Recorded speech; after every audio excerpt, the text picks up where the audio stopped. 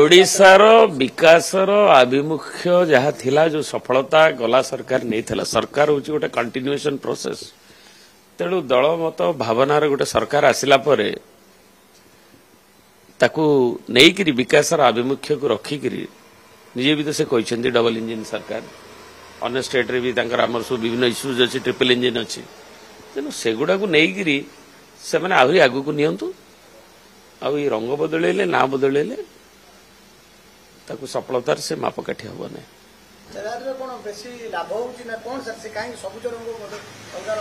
ସେଟା ସେ କହିପାରିବେ ତାଙ୍କୁ ଆଲର୍ଜିକ୍ ଯଦି ଅଛି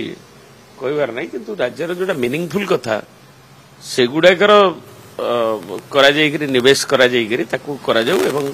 ଗୋଟେ କ୍ଲାଇମେଟ୍କୁ ବି କେମିତି ଅଧିକ ବିନିଯୋଗ ହେବ ତାର ଭ୍ୟାଲ୍ୟୁ ଆଡିସନ୍ ମୂଲ୍ୟଯୁକ୍ତ ତାହା ରହିବ ଯେଉଁଟା କୁହାଯାଉଛି ସେମାନେ ବି କହୁଛନ୍ତି କିନ୍ତୁ ତାକୁ କରିବା ର ଖାସ୍ ଠୋସ୍ ଭାବରେ ତାର ରୋଡମ୍ୟାପ୍ କରିକିରି ତାକୁ ଆଗକୁ ସେମାନେ ନେବା ପାଇଁ ଯିବେ ଏଇଟା ମୁଁ ଆଶା କରିବି ନଚେତ୍ ନାହିଁ ଯେଉଁଟା ବାରମ୍ବାର ଯେମିତି ପଲିସିଜ୍ ଗୁଡ଼ାକ ଅନ୍ୟ କଥା ଗୁଡ଼ାକ ତାଙ୍କ କମିଟମେଣ୍ଟ ଗୁଡ଼ାକ ସେଥିରୁ କେମିତି ସ୍ଲିପରି ମାନେ ସ୍ଲିପ୍ କରିଯାଉଛି ଏଇଟା ଲୋକଙ୍କର ସାଧାରଣ ଲୋକଙ୍କର ଅନୁଭବ ହେଲା ଇଲେକ୍ସନ୍ ପ୍ରୋସେସ୍ ଡିସିସନ୍ ହେଇଗଲେ ଆପଣମାନେ ଜାଣିବେ ରିଟର୍ଣ୍ଣିଂ ଅଫିସର ଆପଏଣ୍ଟମେଣ୍ଟ ହେବେ এবং সেটা দলর সভাপতি যেতবে নিষ্পতি নেবে উপযুক্ত সময় এবং তাকে জাণবে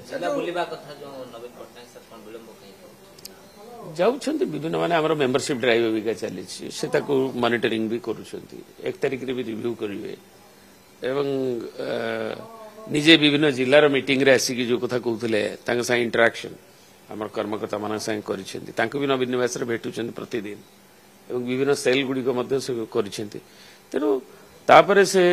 ଆସେମ୍ବ୍ଲି ଆସୁଛି ତାପରେ ସେ ଦେଖିକି ସମୟରେ ନିଶ୍ଚୟ କରିବେ ଦିଲ୍ଲୀରେ ଆମର ଏକୋଇଶ ଏମ୍ପି ଅଛନ୍ତି ରାଜ୍ୟସଭା ଏମ୍ପି ଅଛନ୍ତି ସେମାନେ ତାକୁ ଉଠେଇବେ ଦଳମତ ବର୍ଣ୍ଣ ନିର୍ବିଶେଷରେ ତାକୁ ଉଠେଇବା କଥା ମହାନଦୀରେ ତ ନିଜେ ମୁଖ୍ୟମନ୍ତ୍ରୀ ସେ ଜଳସମ୍ପଦ ବିଭାଗର ମନ୍ତ୍ରୀ କହିଥିଲେ ମୁଁ ଆପୋଷ ଆଲୋଚନା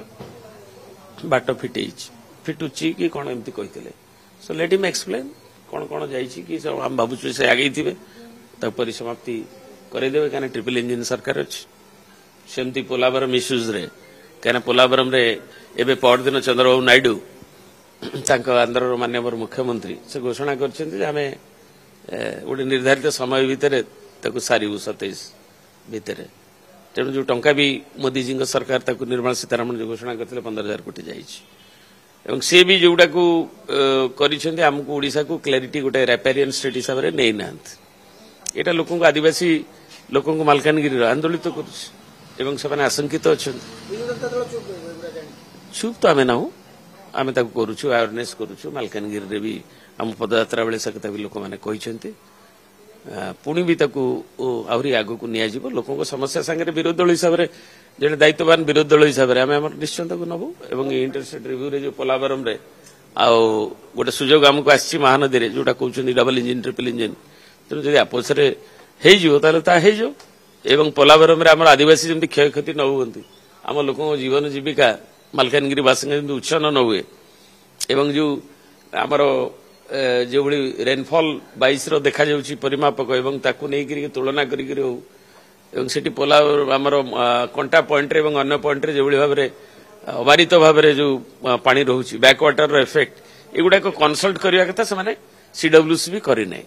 ତେଣୁ ସେସବୁ ଜିନିଷକୁ ନିଶ୍ଚୟ ଆମେ ଉଠେଇବୁ ଆସେମ୍ବ୍ଲି ବିଧାନସଭାରେ ବି ଉଠେଇବେ ବାହାରେ ବି ଉଠେଇବେ ପାର୍ଲାମେଣ୍ଟରେ ବି ଆମର ଯେତିକି ଅଛି ଶକ୍ତି ତାକୁ ବି ଉଠେଇବେ